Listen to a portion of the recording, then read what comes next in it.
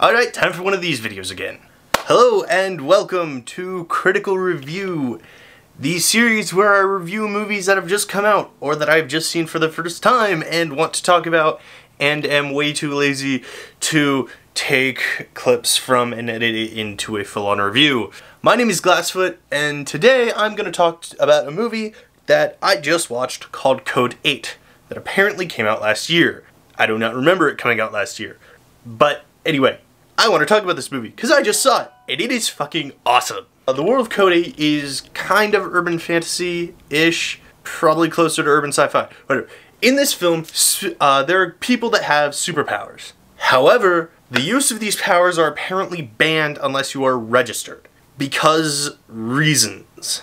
Which leads me to several questions, but I'm going to get into those later. So our main character, played by Robbie Amell, Connor, he has powers. He is what is known as an electric in this world. He can control and manipulate electricity. And he's an incredibly strong electric too. But basically, we see him uh, going through daily life. Uh, the job that he was working at gets shut down because uh, apparently they didn't have a permit to use the powers because logic is it focused? Well, it is now, and I don't feel like recording the earlier parts of this video, so I'm just gonna go with it and hopefully it's been this entire time. Whatever. Um, back to what I was saying. Connor, he's an electric with, uh, you know, clearly the ability to control electricity. Um, the job that he was working at gets shut down. He feels he's strapped for cash, and his mother is sick and getting sicker. When we first see her, her hands are like covered in what look like ice crystals. Apparently, she has the power to uh, like freeze things and whatnot, but it appears that she is, for whatever reason, losing control of her ability. It's explained later in the film, but yeah.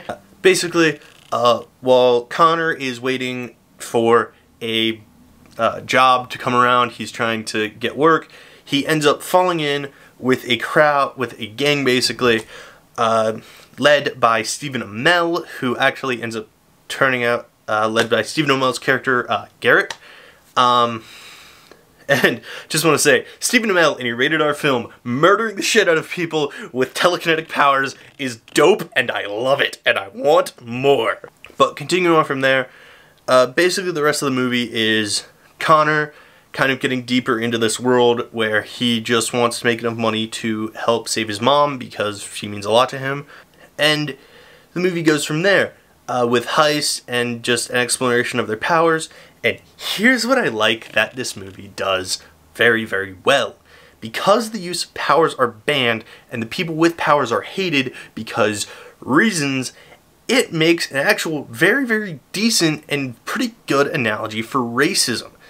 At least that's how I viewed it. I have no clue if that's what the writer was going for. The last movie I remember seeing on Netflix that attempted this and did it very poorly was Bright. Uh, Bright has other problems besides that, but they basically just make the orcs black people and eat.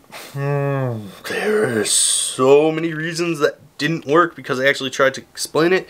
In this world, people with powers are hated for no reason other than they have powers. Which, my my biggest question, why not just let them have the city? Like, just, if you don't want to live with people with powers, don't live in the city that has the people with superpowers.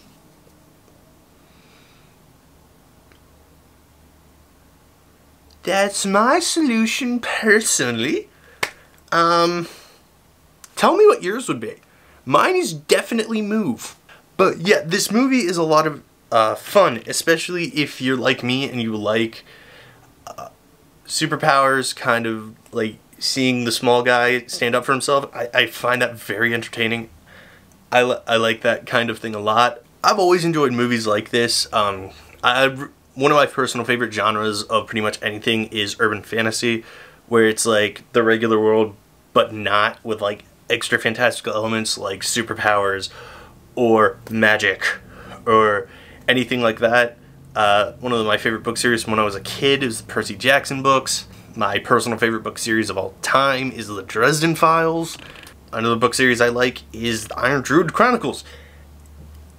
Yeah, I, urban fantasy is my jam. And so seeing a movie that does it so well while having a morally gray character who doesn't want to hurt people but is working for a gang so that he can save his mom. I loved that so much. Just also, every character interaction works really, really well. Uh, he at one point meets a healer. His interactions with her are great. His interactions with the leader of the entire crew that he works for, they are awesome. Stephen Amell did a great job in this film. By the way, just I'm really glad to see him do more amazing work after Arrow. Robbie Amell, he he knocked it out of the park with his performance. All the other characters, they nail their performances really, really well. Yeah, there's not a ton I can say about this. Uh, the action, uh, actually, one more quick thing. I was slightly disappointed by the action scenes because a few of them earlier on I thought were fairly well done, and then the big climactic battle scene, they shut out the lights and then lights start flashing and they shoot guns.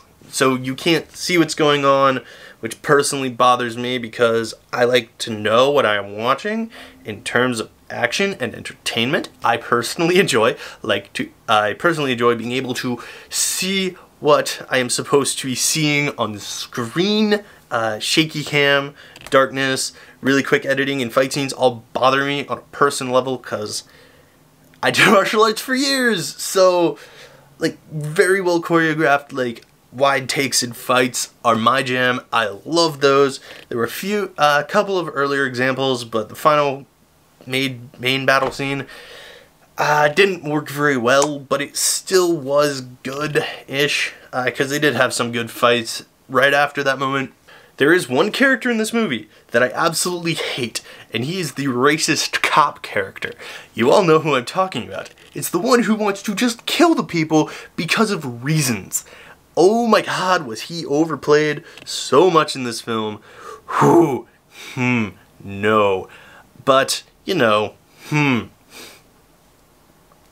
Not much we can do about that. Though, uh, you know, he he's not a very major part in the film, uh, so that's kind of understandable that they have him. The guy who plays Han in Fast and Furious, he plays uh, the racist cop's partner in this. He did a really good job. Uh, very fun, entertaining to watch. I'm sorry this one got a bit rambly. I haven't actually done a critical review like this in a while.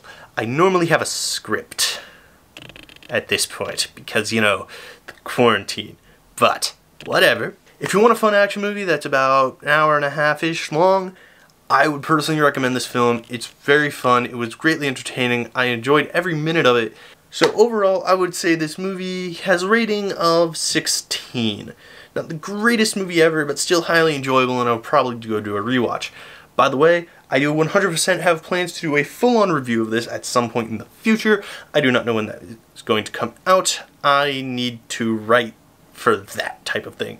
But for now, uh, yeah, Code 8 Solid 16, very enjoyable, highly recommend it. If you haven't gone and seen the movie already, I would say you do. It's free on Netflix, so give it a watch and see if you guys enjoy it as much as I did. Hey guys, final part of the video. If you enjoyed that video, uh, please like the video uh, and leave a comment. Uh, if you like the content that I put out and would like to continue to follow me online, uh, please hit the subscribe button. If you'd like to follow me on social media platforms, links to both my Twitter and my Instagram will be in the description down below, as always. And that's all that I have for you now, guys. So, as always, guys, have a great day. Don't forget to love each other, and peace out.